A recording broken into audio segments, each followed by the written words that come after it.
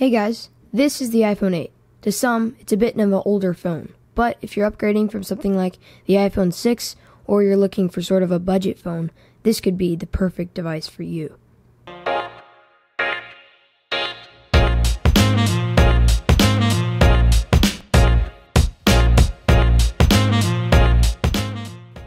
The iPhone 8 has a very similar design to the iPhone 6, 7, and SE 2020 they're so close that the cases for those phones are actually compatible.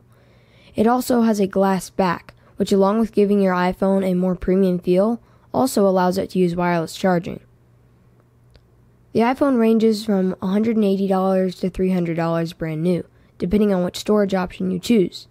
That includes 64 gigabits, 128 gigabits, and 256 gigabits.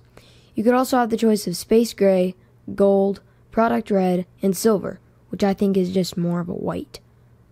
In comparison to most phones of its time, I think iPhone 8 screen displays colors pretty clearly and accurately.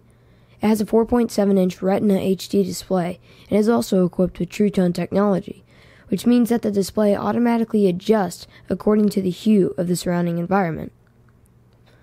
So, Touch ID has been around since iPhone 5S, but it's even better on the iPhone 8. After registering my thumbprint into the phone, it works pretty good. I've had moist and even greasy hands, and it's worked perfectly.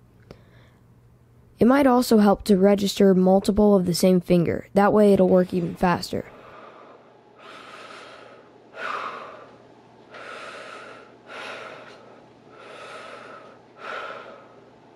Also, your fingerprint info is stored locally onto the device, not in the cloud, which means that your info is completely safe and private. The iPhone 8 was the first iPhone to support wireless charging, and hey, it works.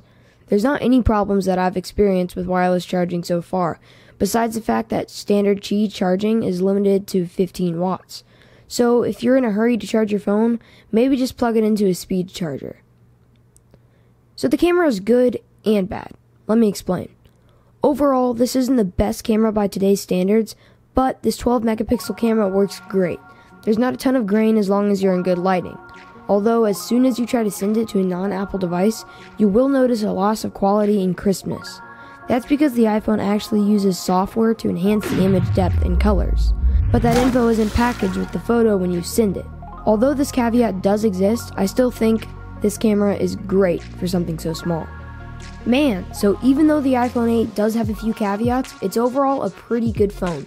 Thanks so much for watching. Do you have an iPhone 8? Are you thinking of buying one? Leave your thoughts down below. Alright, that is the iPhone 8, and this is Dipprey Studios. Peace.